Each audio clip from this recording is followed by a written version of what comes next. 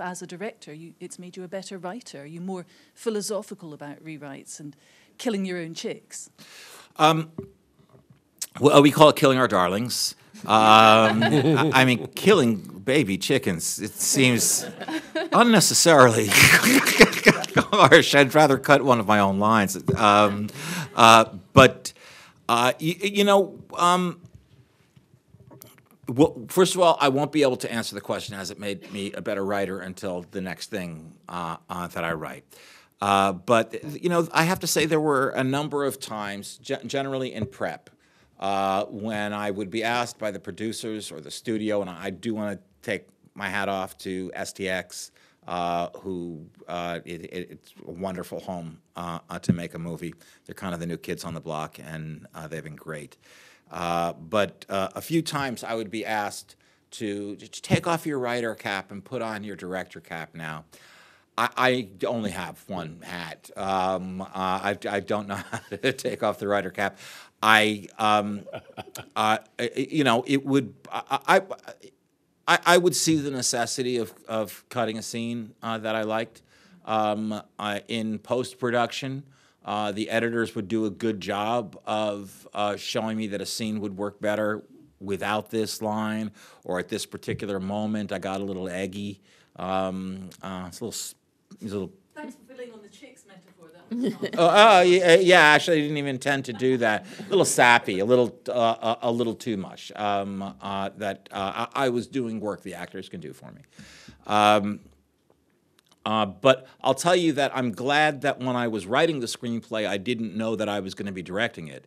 Uh, because I likely would not have, uh, I, I probably would have been very conscious of that while I was writing it. I wouldn't have just let myself write at that at that moment I was talking about when, okay, you know what you're going to do, now go. Um, uh, and I certainly wouldn't have, uh, there, there's more uh, action in the first eight minutes of this movie, in the first sequence of this movie, than there is in every other movie I've written combined. Uh, uh, uh, so I, I don't think I would have, you know, I generally write something like that thinking, well, I'll let the director worry about, you know, how this crash is going to work um, uh, bit by bit. But um, uh, I, was glad that I didn't know it at the time. Well, it was uh, it was great. Um, I, I made sure uh, that the first day was a, a, relatively easy day. There, there was no such thing as a as an easy day uh, on this movie, but it, it, would be the second through I don't know eleventh days or something that that we did all the Molly Charlie scenes. I'll tell you, I, I, I was surrounded by a, a, fantastic group of people. Um, I, I went into this saying, don't pretend that you know more than you do. You, will be figured out. Uh, uh, these people are smart. but um, you do know what you want. Um, uh, you know, you're not at sea uh, with this. You know what you're looking for. Um, uh, so project that confidence, lead, um, uh, and people will follow. And uh, in in Jessica and Idris, I had you know real partners uh, on the stage. So uh, you know there were a lot of butterflies uh, uh, that first day, really every day.